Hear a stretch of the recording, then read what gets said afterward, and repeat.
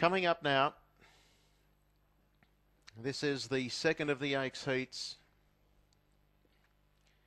Jumping in the back straight, a run of 900 to the post. Aussie made Lombo drawn the pole. All set.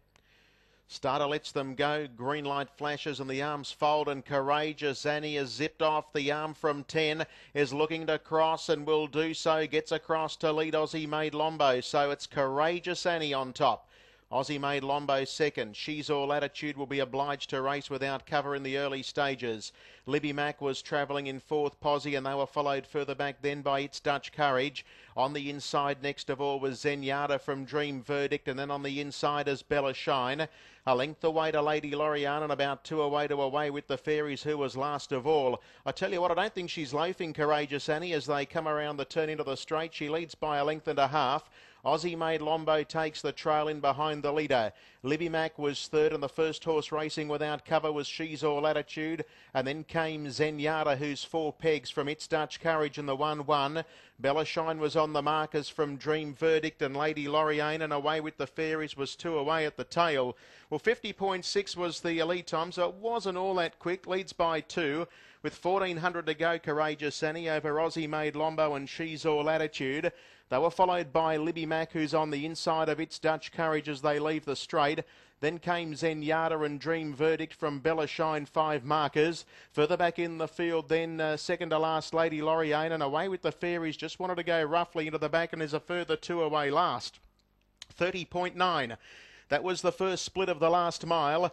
And as they go into the back section of the track, they've got a thousand metres left to go. And it's Australasia's fastest pacing filly leading the way as they head down the back over the mile at least. Courageous Annie is on top by a neat length on She's All Attitude second.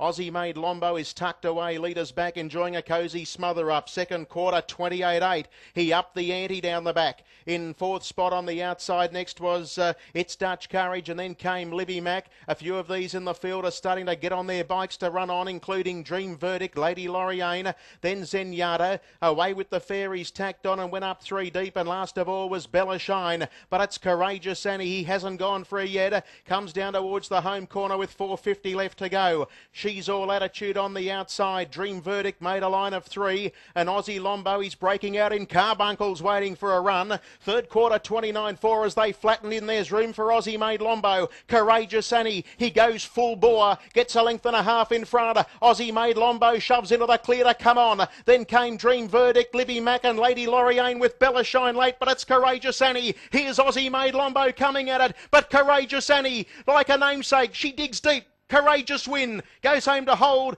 Aussie made Lombo. Did you see Bella Shine jump out of the ground and grab third over Dream Verdict? They were followed back in behind them next by Lady Loriane and then came further back to It's Dutch Courage. Zenyatta was off the track. Then came Libby Mack, who was well astern of the field. And uh, one of the last ones coming back into view was Away with the Fairies, and another one's back with it. She's All Attitude. 27 6 last quarter. She is top notch. She came off the arm hard. She found the lead. And he just gradually ground them out